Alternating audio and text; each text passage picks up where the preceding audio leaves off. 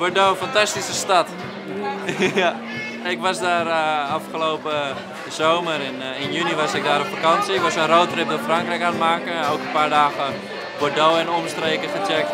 Het, leuke van een, van, van een wijn is, is de, fles, het label, de smaken, de lagen erin. Dat is echt een ontdekking en, en dat vind ik zelf wel leuk omdat ik heel van, van ja, ervaringen hou en verhalen. Waarom hebben wij voor Bordeaux gekozen? Uh, omwille van zijn, zijn complexiteit en zijn terroir. Het grootste gedeelte van de productie op de, op de rechteroever uh, is Merlot en Cabernet Franc.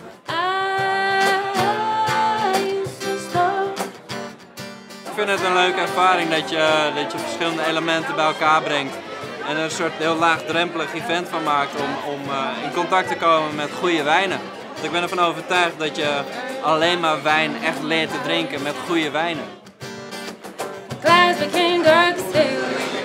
Ik heb ooit gezegd dat 78 toerenplaten gaat over de mateloze bereidheid om moeite te doen voor een bijzondere ervaring.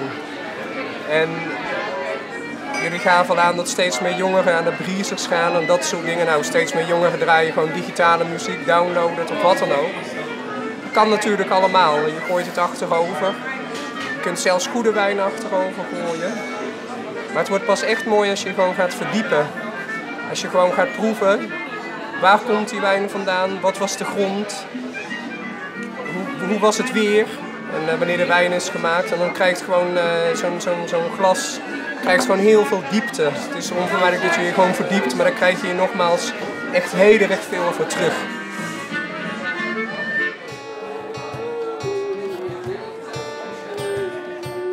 So you can experience a good moment with wine, with atmosphere. Music is a way of creating atmosphere. It's just like, well, like Bordeaux wines, it's just like uh, relax sometimes and more um, exciting some of the times.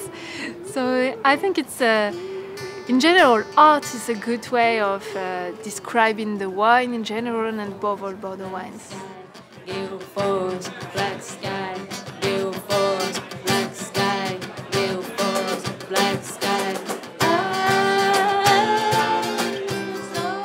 Voor wijnboers heb je sowieso veel passie nodig. Uh, anders haal je het niet, zal ik maar zeggen, omdat er zoveel onvoorziene omstandigheden zijn.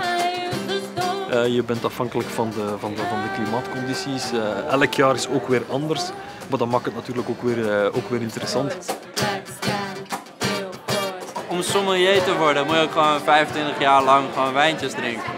Um, dus, dus om er beter in te worden, um, moet je sowieso veel drinken. Dus, dus dat uh, heb ik mezelf ook voorgenomen om alleen maar wijn te drinken.